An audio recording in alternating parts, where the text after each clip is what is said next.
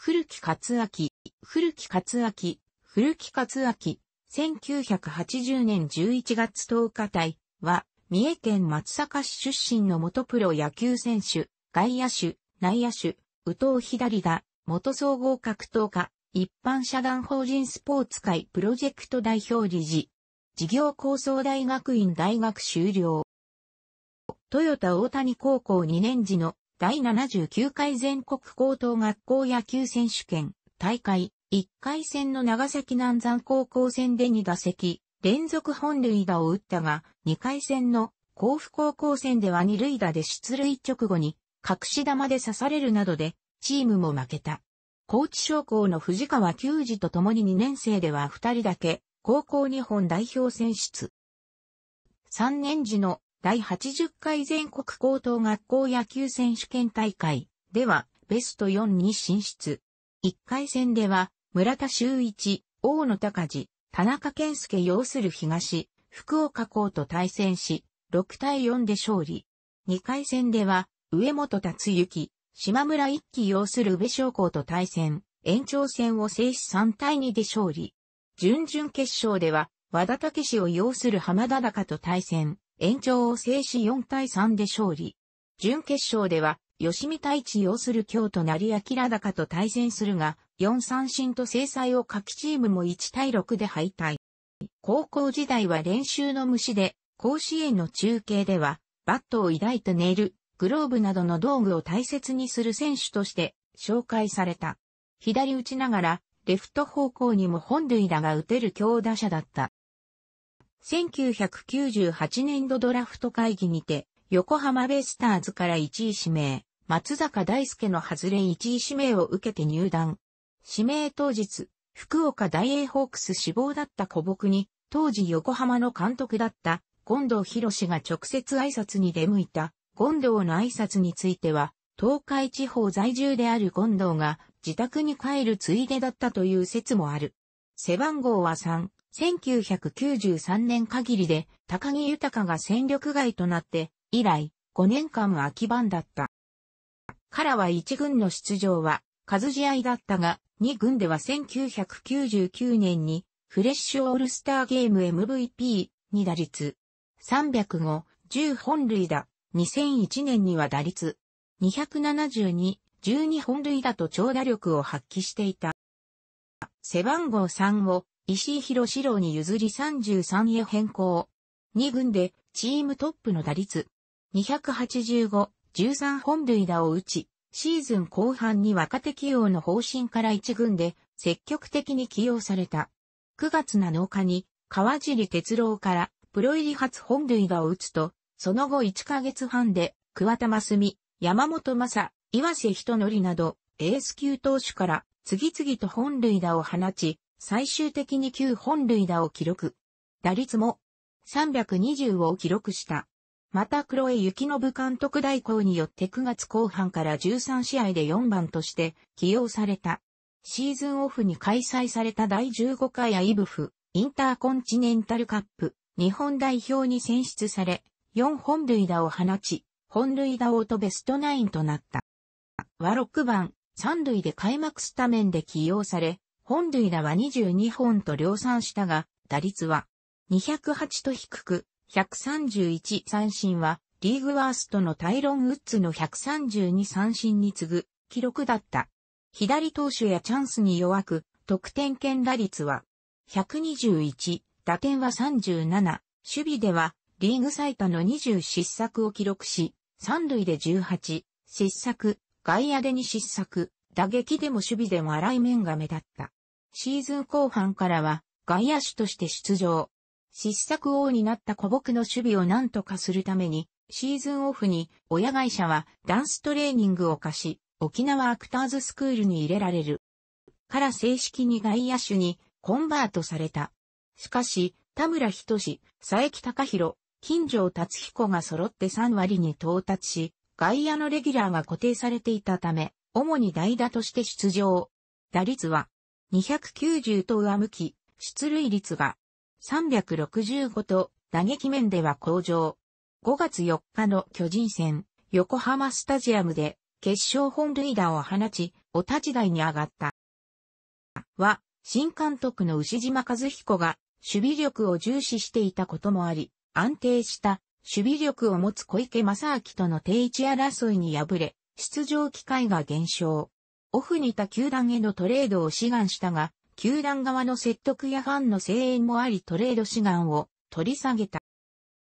は、田村の故障や小池の打撃不振により、3年ぶりの100試合出場と出場機会を得たものの、打率252と結果が残せず、小池の副長や吉村祐希の台頭後は再び、控えに回るようになった。外野守備においても、打球判断の拙さから、平凡なフライを三塁打にしてしまうなど、外野手では、リーグ最多の8失策を記録した。シーズン終了後、右肘骨極除去手術をした。は、前年の手術の影響でキャンプは2軍スタート。開幕第2戦で、門倉健からチーム第1号となる決勝本塁打を放つなど、前半戦は活躍を見せていたが、夏に再び2軍落ちを経験するなどシーズン同士の活躍はできなかった。同年オフに大西博明との交換トレードでオリックスバファローズへ移籍。も2軍で開幕を迎えたが、4月に1軍に昇格すると、まずまずの打撃を見せた。しかし、5月は月間打率が1割台と打撃不振で6月上旬に2軍降格。その後2軍では、チーム2位の7本塁打、打率279の成績を残したが、1軍昇格することなくシーズンを終えた。出場機会は2002年以降では、最小で1軍で本塁打なしに終わるのは7年ぶりだった。も2軍で打率が3割を超えるなど好調な打撃を見せ、5月に1軍昇格。対右投手時のスタメン及び左の代打要員として起用されたが結果を残せず、1ヶ月ほどで2軍降格。その後2軍では打率は310と好成績を残していたが、同時に三振王74個にもなり、1軍に昇格することなくシーズン終了。10月3日に戦力外通告を受けた。その後、12球団合同トライアウトに2度参加したが、獲得球団はなく、現役を引退。2009年12月8日、格闘技の新団体、スマッシュに入団することが発表された。野球に未練はない、世界を代表する、格闘家を目指したいと意気込みを語った。12月20日に行われたプロ野球55年会が企画したチャリティーマッチに参加、9回に代打で出場し、レフトフライに終わった。試合後、古木にとっては最後の試合ということで、両チームの選手によ胴上げが行われた。なお、格闘家天心については2009年12月30日に放送された TBS のドキュメント番組、壮絶人生ドキュメント俺たちは、プロ野球選手だったでも紹介された。2010年6月にゴールドジムベースボールクラブの一員として、茨城ゴールデンゴールズとの練習試合に参加。同チームの都市対抗野球大会東京都予選メンバーにも背番号33で登録されている同チームには高知県民で元西部の上田博明も選手登録。また、6月26日に西調布アリーナで行われたアマチュアディープの第1回大会において総合格闘家として長男亮と2分2ラウンドのエキシビショマッチを行った。12月31日、ダイナマイト、勇気の力2010にて、アンディオロボンと対戦。5分3ラウンドを戦い抜き、0から3の判定負けを喫した。4月22日、ディープ53インパクトにて、海老名義隆、元明治大学ラグビー部選手と対戦。5分2ラウンド戦にて2から0の判定勝ち。格闘技転向後の初勝利となった。4月の格闘技初勝利後、少年野球指導者を目指し、セカンドキャリアの実務研修を兼ねて、少年野球指導教室中野塾に参加。野球の練習を開始する。その後、関係者からの勧めもあって格闘家を引退し、球界復帰を目指すこととなった。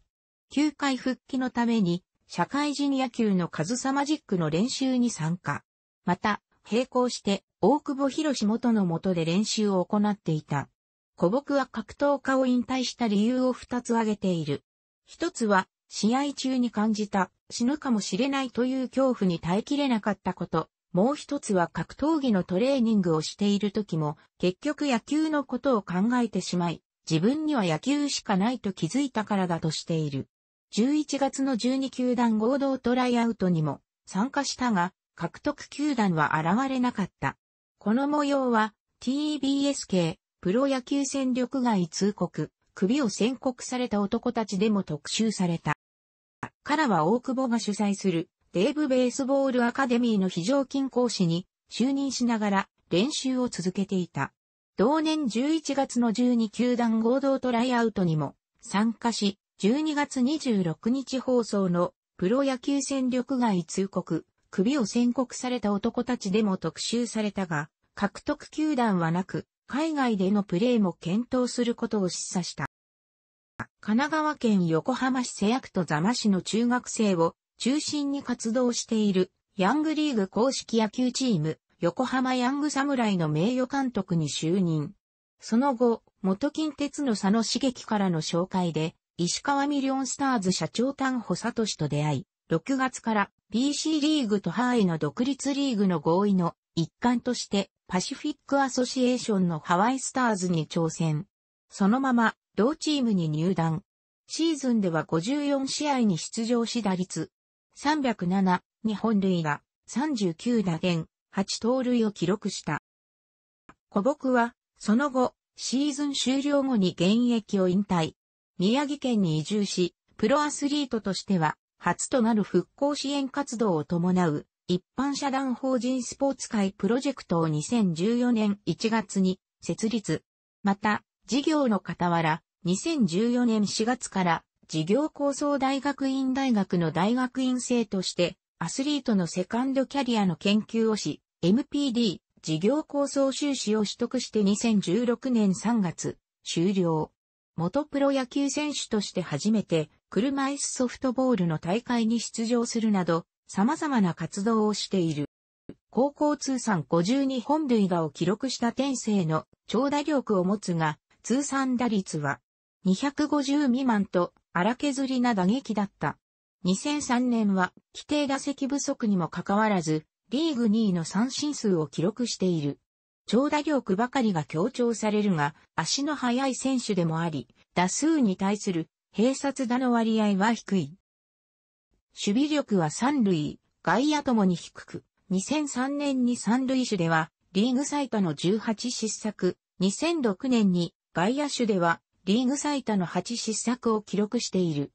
守備に難があったことについて古木は、ドライアイが大きな理由だったと語っている。野球界復帰時に行った検査で、片目の涙量がゼロという極度のドライアイであることが分かり、実際に打席や守備についている時に目が霞んだり距離感がつかめなくなることがたびたびあったと語っている。このドライアイはすでに治療を済ませている。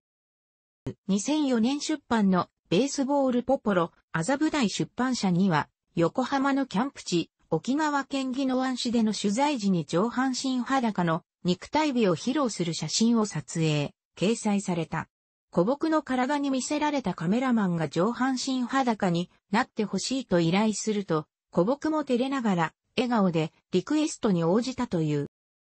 プロ野球引退後の2010年7月13日のロッテ対オリックス、千葉マリンの始球式に登場。マウンドで T シャツを脱ぎ、上半身裸になり投球。なお、その再保守役は横浜時代の同僚だった吉見裕二が務めた。結婚、離婚を各一回経験し、2005年7月1日にモデルの池畑忍と結婚。翌2006年1月に女児が誕生したが、2012年7月に離婚、公表は同年9月。女児の親権は池畑のもとへ渡った。